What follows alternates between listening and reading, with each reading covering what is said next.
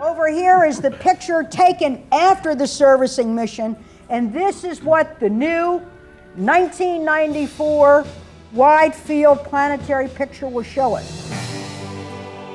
The pictures are remarkable. The science that will come from the pictures are of historical significance. We Just from seeing that one picture, you knew that this was going to be a, a revolutionary telescope. Using Hubble to study the evolution of galaxies, we exploit the fact that a telescope in astronomy acts like a time machine. When we look at the most distant objects in the universe with Hubble, we're actually looking far back into time. The light has taken something like 10 to 12 billion years to reach us when we look at the most distant galaxies. Hubble's ability to provide very crisp images, far crisper and cleaner and clearer than any other telescope, um, allows you to see what these things look like. They're not just fuzzy blobs of light.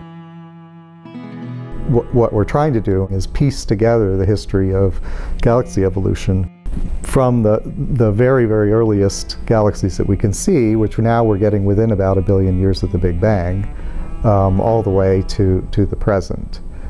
The other thing that Hubble allowed us to do is get very precise measurements of the colors of these galaxies.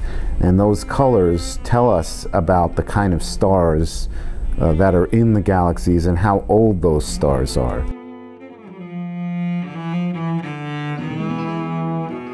there, there are two sort of two different ways of uh, thinking about a redshift.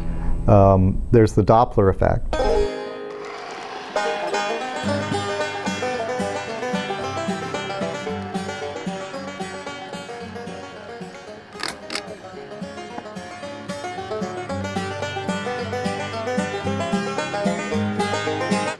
So objects that are moving toward you, uh, if that were happening in light, the light would be shifted to the blue. If it's moving away from you, it would be shifted to the red.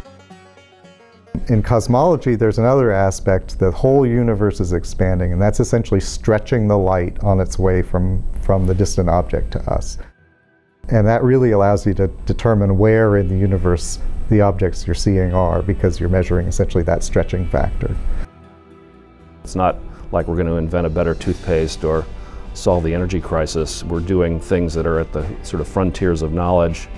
One of the great things about being able to study this history of galaxies is it not only tells us about what the cosmic history of formation of stars and galaxies is, but it also can tell us stuff about our own galaxy's uh, past and its potential future as well. I think people just have a powerful urge to understand their origins how, how did we get here? You know, what was, the, what was before the Earth? What was before the Sun?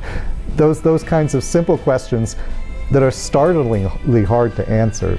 And the amazing thing is that we can start to answer many of them.